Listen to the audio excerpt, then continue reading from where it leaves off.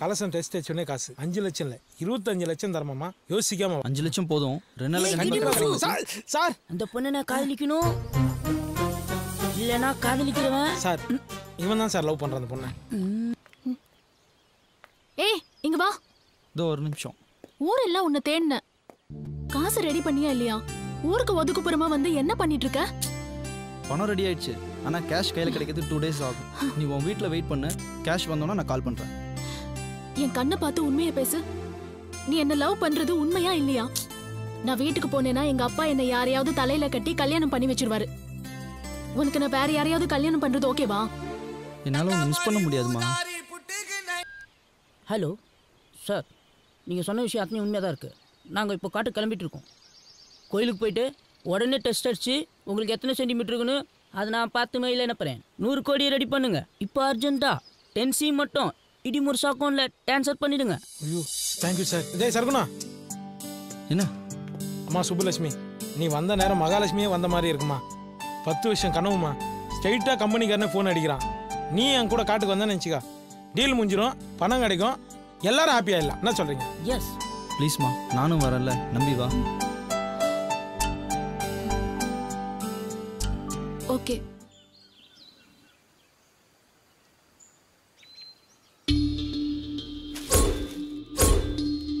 Sir இந்த நாலு பேரும் காட்டுக்குள்ளே சுத்திட்டு இருந்தாங்க சார். வெளிநாட்டு நம்பர் வேற ட்ரை பண்ணிட்டு இருந்தாங்க சார். தினேஷ் இமிடியேட்டா இவங்க வீட்டெல்லாம் சர்ச் பண்ணுங்க. ஷோ சார் ஐயா வணக்கம் ஐயா. வணக்கம். இன்ஸ்பெக்டர் ஏதாவது தகவல் சொல்லி அனுப்பிச்சாருங்களா? பொண்ணை பத்தின சின்ன இன்ஃபர்மேஷன் கிடைச்சிருக்கு. சரிங்க. பயப்பட வேண்டாம்னு சொல்ல சொன்னார். ஆ தாயில்லாத புள்ளண்டு செல்லம் கொடுத்து வளர்த்தீங்க எப்போ பார்த்தாலும் யூஎஸ் யூஎஸ் புலம்பிட்டே இருப்பாங்க அவசரப்பட்டு இப்படி ஒரு முடிவு எடுப்பான்னு தெரியாமல் போச்சுங்க உங்க பொண்ணை பார்க்கறதுக்கு யாராவது வெளிநாட்டுக்காரங்க வருவாங்களா? வெளிநாட்டுக்காரங்களை இவளை பார்க்க ஆர்வம் மாட்டாங்க உள்ளூர்காரங்க இவளை பார்த்தா தலைதறிக்க ஓடுவாங்க. அவளை தேடி யாராவது வந்தாலோ இந்த கேஸை பத்தின இன்ஃபர்மேஷன் ஏதாவது உங்களுக்கு கிடைச்சாலோ இமிடியேட்டா இன்ஸ்பெக்டருக்கு இன்ஃபார்ம் பண்ணணும். ஆ வணக்கம்.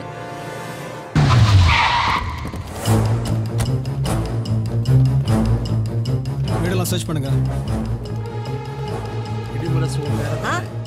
இடிமுரசு உன் பேரன் தானே? நேரம் பார்க்க தெரியாது.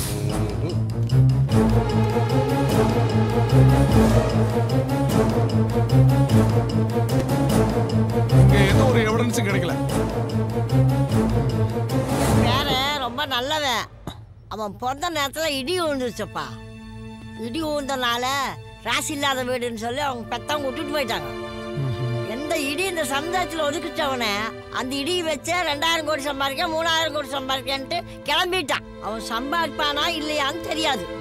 எனக்கு காது சரியாக கேட்காது. எனக்கு கண்ணும் சரியா தெரியாது. என் பேரன் கடுகளவும் தீங்கு யாருக்கும் நினைக்க மாட்டான். ரொம்ப நல்லவன். பயப்படாதீங்க.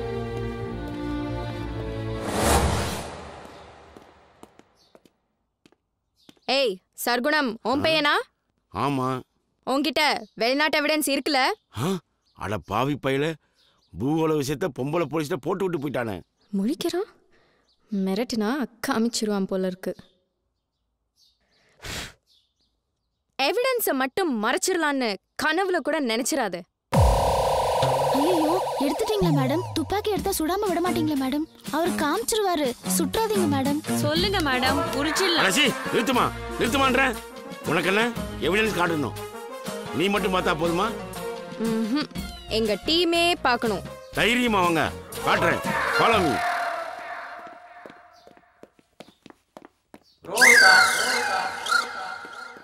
என்னங்க? பொம்பளை போலீஸ் மயங்கி விழுந்து கிடக்குறாங்க. ஆமா எவிடன்ஸ் காமிங்க எவிடன்ஸ் காமிங்க கேட்டாங்க. என் பூகோள எவிடன்ஸ் காமிச்சேன். அவ்வளவுதான். இத பாருங்க நீங்க பண்றது கொஞ்சம் கூட சரியில்லை. இப்படித்தான் அந்த சைனாக்காரைய கூட்டிட்டு ரூம்குள்ள போனீங்க. போகும்போது அழுதுகிட்டே போனா.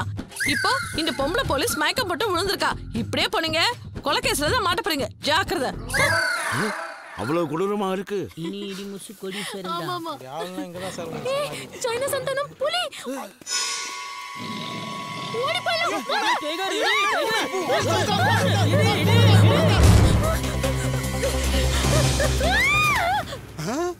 தம்பி சிக்கிருச்சுரா கேஸ்ல இருந்து தப்பிச்சிட்டோம்டா.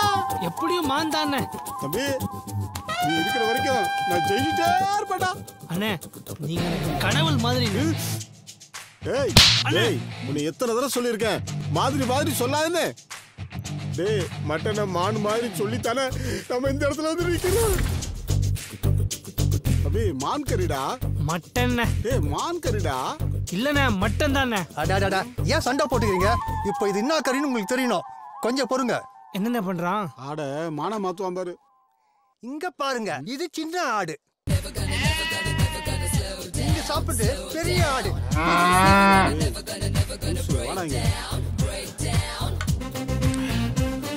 நான் மான் கறி சொல்லி சாப்பிட்டுட்டு இருக்கேன். என் தம்பி என்னடான்னா ஆட்டு கறி சொல்லி சாப்பிட்டுட்டு இருக்கிறான். நீ என்னடான்னா பீஃப்னு சொல்லிக்கிட்டு இருக்க. மாவனே மூஞ்சி போல பேத்து போடும் பாத்துக்க நீ சொல்ற மட்டன் கறி கூட மான் கறி மாதிரியே சமைச்சிருக்கேன்டா. மட்டன் எப்படி மான்கறி மாதிரி சமைக்க முடியும்? மான்கறியை தான் மட்டன் மாதிரி சமைக்க முடியும். மான்கறியா சாப்பிட்றியா மான்கறி? இருங்கடி நல்லா உங்களை போலீஸில் மாட்டி விடுறே ஹலோ? மான்கறி சல்மான் கான் சாப்பிட்டா தான் அரெஸ்ட் பண்ணுவீங்களா? எவ சாப்பிட்டாலும் அரெஸ்ட் பண்ணுவோம்.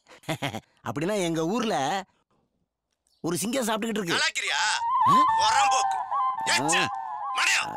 சார் சார் சார் போனை வச்சிடாதீங்க சார்.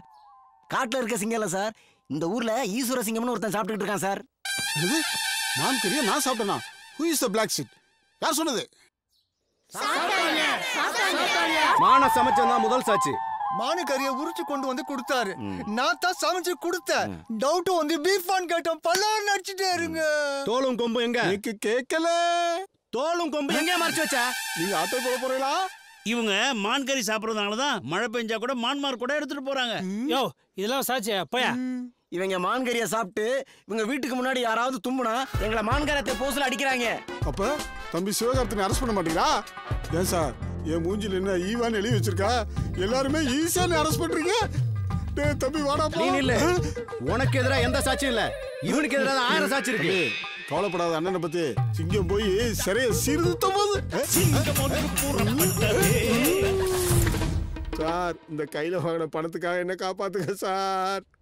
நான் என்னப்பா செய்ய முடியும்? உன் தம்பி தான் போலீஸ்ல அந்த போட்டோ கொடுத்துட்டானே. இருபத்தி ஆறு வருஷம் ஜெயில் கன்ஃபார்ம் அப்படி எதுக்குப்பா நீ வக்கீல் படிச்ச?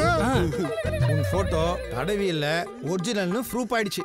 என்னடா பண்ற தம்பி? ஆட்டு தலை எடுத்துட்டு போய் போட்டோ ஷாப்ல போய் மான் கொம்பை சொருகிற மாதிரி கிராபிக்ஸ் பண்ண. அது உண்மையா போச்சு? நீதித்துறை டிக்கெட்ஸ் எல்லாமே ஸ்ட்ராங்கா இருக்குடா. நீதித்துறை கிண்டல் பண்ணாரு. இதுல இருந்து தப்பிக்க ஒரே வழிதான் இருக்கு. நீ காட்டுக்கு போய் ஒரு மானை புடிச்சிட்டு வந்து நான் வழக்க தான் வச்சிருந்தேன்னு கோர்ட்ல ஒப்படைச்சிடு. இந்த கேஸ உடைச்சிடலாம். காடா ஜெயிலா. அப்புறம் பண்ணுங்க. நீங்க படம் வாங்குறீங்க அண்ணே மான் மாதிரி அழகான ஒரு பொண்ணுண்ணே. ஏய் இப்பதானே சொன்னேன் மாதிரியும் சொல்லாதேன்னு. பொண்ணுங்கள வலை போட்டு பிடிக்கிற கும்பல் நீங்க தானா இருங்கடா உங்களை போலீஸ்ல புடிச்சு கொடுக்குறேன். தம்பி எத்தனை போலீஸ் எத்தனை கேஸ் இது வேற பொம்பளை கேஸ் அவுக்குறா சுபு எங்க போயிட்ட? சர்க்குணம். அங்க ரெண்டு லூசுங்க. காட்டுல வலை போட்டு பொண்ணுங்களா பிடிக்கிறாங்க. அப்பா வா போலாம். உனக்கு ஒன்றும் ஆகல எங்க போயிருப்பாங்க அதுதான் சார் எங்க போனாங்க? இடிமுரசு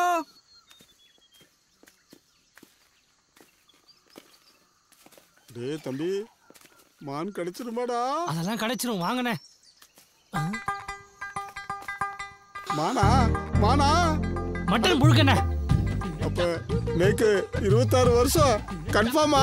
அண்ணே அந்த ஆட்டு புழுக்கைய சுவாசிக்கும் போது என் அறிவுக்கும் தோணுச்சுங்க அந்த கேஸுக்கு ஒரே எவிடன்ஸ் அந்த போட்டோ தான். அந்த போட்டோவை செட் பண்ணது நாம தானே?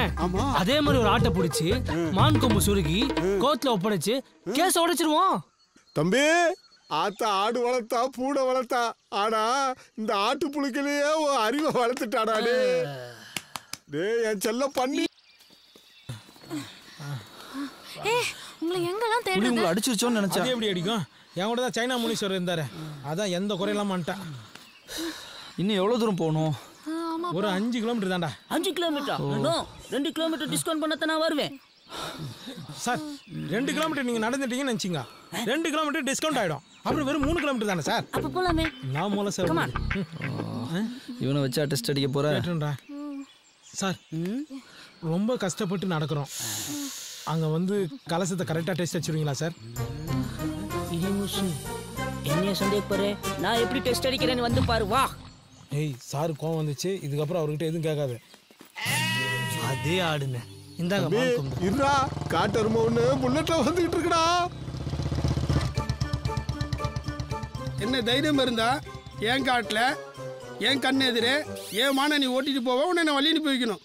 சார் இது ஆடு சார். மானை பத்தி என்ன கிட்ட சொல்றியா?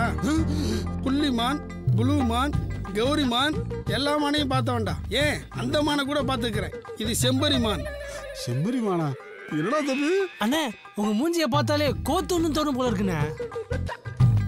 சார் கேப்டன் பிரபாகரன் படத்துக்கு அப்புறம் ஃபாரஸ்ட் ட்ரெஸ் உங்களுக்கு சூப்பரா சூப்பரா இருக்கு சார். மூஞ்சில சிரிப்பா பாரு. காட்டுல வளர்ந்த பண்ணிமே இருக்கான். சி. டேய் வாடா நில்லுப்பா. இந்த மூஞ்சி தான் ஜெயிலுக்கு போற மூஞ்சி. சிட்டிக்குள்ள இருக்கிற போலீஸ் அப்படித்தானாலும் சீட்டிங் போலீஸ் இப்படியா? போங்கய்யா போங்க சீட்டிங்கை பத்தி இவன் பேசுறான்.